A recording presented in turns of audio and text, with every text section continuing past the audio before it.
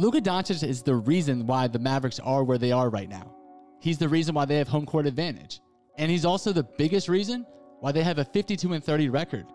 But guys like Jalen Brunson, Spencer Dinwiddie, Reggie Bullock, Dorian Finney Smith, Maxi Kleber, Davis Bertans, those guys, those role players and bench players are the reason why the Dallas Mavericks will win this year's NBA championship. Now, I know what you guys are thinking. How could they win without Luka Doncic? Well, guess what? The dude is going to be back for game four. The news just came out minutes ago. But before we get into today's video, let's give a little credit where credit's due. Nico Harrison, Jason Kidd. These two guys were a marriage match made in heaven. Nico Harrison has done an excellent job constructing this roster. In the Kristaps Porzingis trade, I remember when all these videos came out where the Wizards won that trade. But who's laughing now?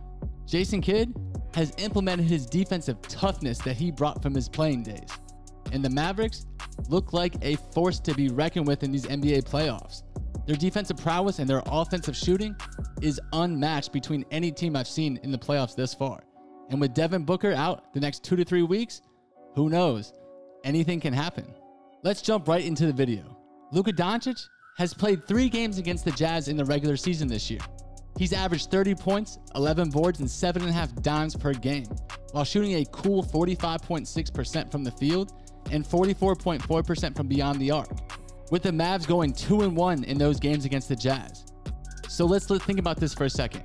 As good as Brunson and Dinwiddie have been at slashing through that Utah defense, imagine if you add Doncic back in the mix.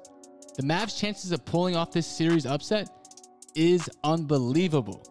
I'm almost guaranteeing a sweep on Monday night. Oh, let's not forget Maxi Kleber's confidence boost that he's gotten. He scored 25 points on 8 and 11 shooting from deep in game 2, and he went off last night as well. Some of you in the comment section said that he would be the X factor for the Mavericks, and I tend to agree. If he can keep being consistent on the offensive side of the ball, his defense will take care of the rest. Him being able to guard the 1 through 5 position is an absolute banger for the Mavericks. But let's talk about the cheap shot from Royce O'Neale last night. And yes, I did say cheap shot. We all saw the same clip. But the bad man that he is, he returned and led the Mavericks with 31 points on 12 of 22 shooting. JB has scored 72 points in just the last two games. And guess what? He's taking care of the ball. He's only had one tourney thus far. Brunson and Dinwiddie have been able to punish the Utah's pathetic perimeter defense. And their all ball defense isn't that much better. They're able to slash through the paint and drive to the open bucket. And if they're met with a rim protector like Rudy Gobert, they kick it out to their open shooter like Kleber or Bertans. And these guys are hitting their shots. Dorian Finney Smith is playing excellent defense on Utah's Donovan Mitchell. We couldn't ask for a better defender. And Reggie Bullock is doing what Reggie Bullock does. His two way presence on this Mavericks team is a lock for a great role player. Last night, Dallas dominated the Jazz at their own game. In the first half, they made 13 of 25 three point attempts. And that's more than the Jazz even attempted.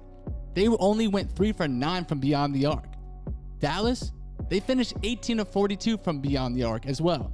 And Reggie Bullock made 3 of those. Finney Smith had 2, Dinwiddie had two as well. But guess what? Last night's hero was Maxi Kleber. The dude had four. And remember Josh Green, who I put down in my last video? I salute you, my friend. Josh Green had three three pointers, and Davis Bertans added another three as well. Now, I'm not to lie. After the Jazz scored 40 points in that third quarter, I was shaking in my boots a little. 18 of those was by Donovan Mitchell. But when you saw the Mavs break that huddle, they looked hyper focused. They looked actually locked in. And when the game was on the line, Spencer Dinwiddie took over. He blew by Donovan Mitchell with two layups, and he might have gotten away with the push off on the second drive, but who knows?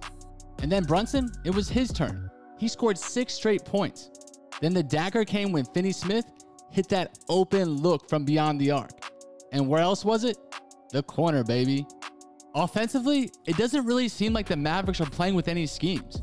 They're really just spreading the floor and looking for open opportunities. But the Jazz, they're playing ISO ball.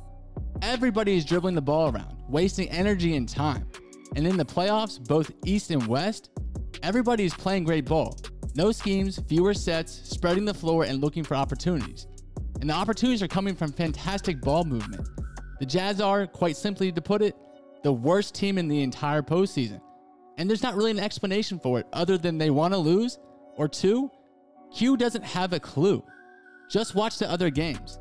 There's some great ball being played across the league. This comes down to leadership. You can tell the leadership for the Utah Jazz don't really have any heart. And with the Dallas Mavericks, the leaders in Jalen Brunson, Dorian Finney Smith, Luka Doncic, Spencer Dinwiddie have all bought into this next man up mentality. But that leads me into today's question. Who do you guys believe will be the next man up for the Dallas Mavericks in game four? With Luka Doncic potentially starting, could it be him? Or could it be Dorian Finney Smith hitting those wide open corners, baby? Or could you see another game put together by JB? Spencer Dinwiddie came out last night and played very well. Maxi Kleber put together a two game stretch that has been nothing short of fantastic. Davis Bertans is showing up. Josh Green even showed up last night. He is my unsung hero of the evening. But let me know in the comment section. And tomorrow we'll be back better than ever with some more Dallas Mavericks basketball. But until then, like always, I'll save y'all a seat. Peace.